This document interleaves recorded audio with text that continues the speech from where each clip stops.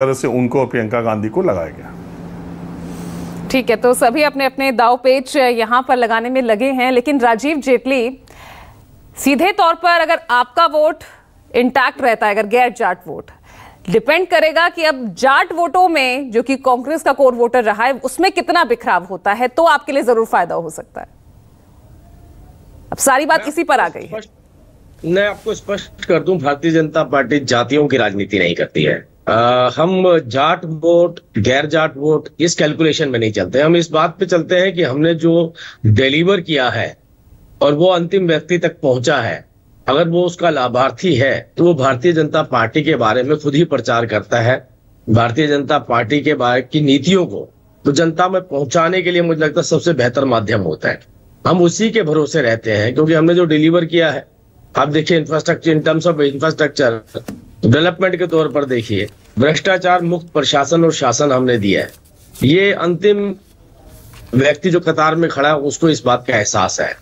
और जो भी व्यक्ति किसी भी कास्ट कम्युनिटी से आता है, जिसको इस बात का बेनिफिट मिला, वो भारतीय जनता पार्टी के प्रति अपना झुकाव रखता है और भारतीय जनता पार्टी को ही अपना मैंडेट दे सबसे पहली बात, इस प्रदेश के अंदर सुरक्षा की गारंटी अगर कोई ले सकता है तो वो भी केवल भाजपा ही सरकार ले सकती 2014 से लेकर 2024 तक, आप देखिए भाजपा की सरकार के साथ हरियाणा प्रदेश की जनता रही है।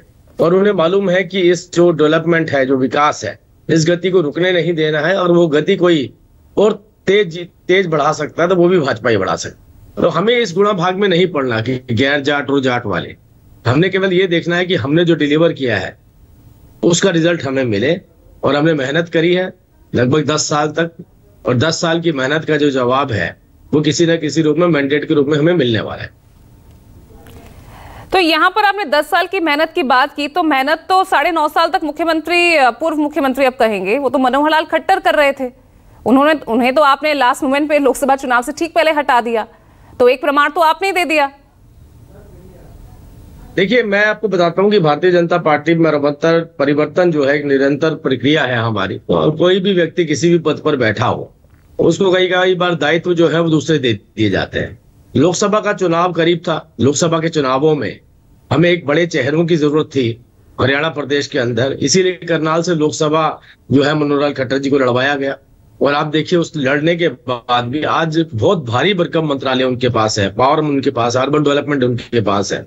और उनकी अभी भी बहुत महत्वपूर्ण भूमिका जो है, वो हरियाणा प्रदेश में है। वो लीड कर रहे हैं हमारे प्रचार के अंदर। लेकिन मंच पर नज़र नहीं आते ना। पोस्टर्स तक में जगह नहीं दी जाती फिर राजीव जी। फिर ये सवाल खड़े हो जाते सबकी सबकी अपनी भूमिका सभी एक मंच पर नहीं आ सकते हैं। उन्होंने जिला वाइज विधानसभा वाइज लगभग एक एक दिन के अंदर बीस बीस रैलियाँ कर रहे हैं वो प्रबुद्ध सम्मेलन कर रहे हैं वो जनता से मिल रहे हैं वो। उनके अपने प्रोग्राम चल रहे हैं। क्योंकि एक बड़े कद के नेता हैं तो उनको आ, मुझे लगता नहीं कि किसी ऐसे मंच की ज़रूरत है वो जहाँ जाते हैं मंच खुद ही सजा लेते हैं। लग रहा है राजीव जी, चौदह और उन्नीस से थोड़ी डिफरेंट सिचुएशन इस बार हो गई है, क्योंकि हर बात पर अब डिफेंडिंग मोड पर बीजेपी को आ जाना पड़ रहा है। कार्यकर्ता नाराज़ हो जाते हैं, नेता बागी हो जाते हैं, मनोहर लाल खट्टर, उन पर भी डिफेंडिंग मोड पर आना पड़ जाता है। अब आपकी पार्टी को। नहीं नहीं, हम डिफेंडिंग मोड पर नहीं है, बिल्कुल भी। मनोहर लाल जी ने जो नीतियाँ बनाई हैं इस प्रदेश के लिए जिसको आप बार बार कोट कर रहे हैं, परिवार पहचान, देखिए पोर्टल एक ऐसी व्यवस्था है, इसमें कई बार तकनीकी खामियाँ आ जाती हैं। बहुत छोटी छोटी माइक्रो लेवल की। लेकिन इसको विपक्ष मुद्दे बनाता है। लेकिन पोर्टल एक ऐसी व्यवस्था है, आने वाले युवाओं से आप ये अपेक्षा नहीं कर सकते हैं वो किसी कतार में जाकर के खड़ा हो। वो बिजली का बिल देने के लिए कतार में खड़ा हो, वो अपनी सुविधाओं के लिए कतार में खड़ा हो। हर व्यक्ति चाहता है कि हर सुविधा मेरे मोबाइल के ऊपर होनी चाहिए। अगर वो ऐप बेस्ड या सॉफ्टवेयर बेस्ड सर्विसेज़ हम शुरू कर रहे हैं तो उसका इवेंचुअली बेनिफिट किसको मिल रहा है? लॉन्ग टर्म में आप देखिएगा, यही पोर्टल जो है, हरियाणा प्रदेश की जनता के लिए कारगर साबित होंगे। हरियाणा के युवाओं के लिए कारगर साबित होंगे। और यही कांग्रेसी लीडर्स इसी पोर्टल का इस्तेमाल करते हुए अपनी सुविधाओं को लेते हुए नज़र आएँगे। तो एक अच्छी बेहतर व्यवस्था उन्होंने बनाई है। उसका विपक्ष ने दुष्प्रचार शुरू किया। और दुष्प्रचार में अगर मैं इस बात को भी ले लूँ कि आज देखिए पेंशन आपके मोबाइल के एक आ, के अंदर फ्लैश होती है मैसेज के माध्यम से। तो पहले इसी पेंशन को लेने के लिए आपको लाइनों में लगाना पड़ता था। लेकिन पेंशनर तो नाराज़ है ना। पेंशनर तो नाराज़ हैं। ओपीएस को बदल के यूपीएस आपको करना पड़ता है। पहले ओपीएस को एनपीएस करते हैं फिर यूपीएस करते हैं। अग्निवीरों को पक्की पेंशन का आपको वादा करना पड़ जाता है।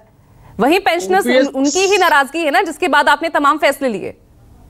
नहीं नहीं पेंशन अभी आपने मिक्स कर दिया। मैं पेंशन की बात कर रहा हूँ तो वृद्ध पेंशन की बात कर रहा हूँ। मैं महिलाओं को मिलने वाली पेंशन की बात कर रहा हूँ। अब आ जाते हैं ओपीएस के ऊपर।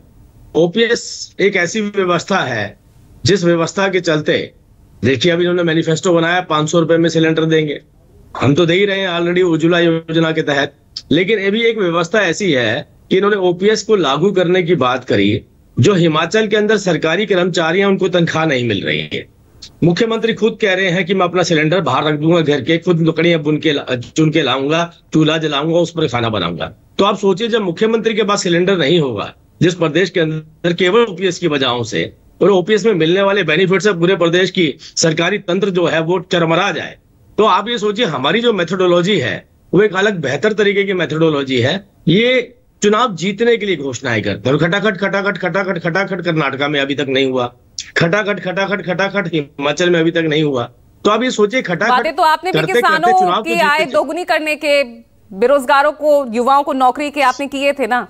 उसी को तो मुद्दा बना रहा है पूरा विपक्ष। दीपक झा हम तो- यहाँ तो सब देने की कोशिश हो भी रही है प्रयास भी हो रहे हैं। आपने तो जहाँ वादा किया वहाँ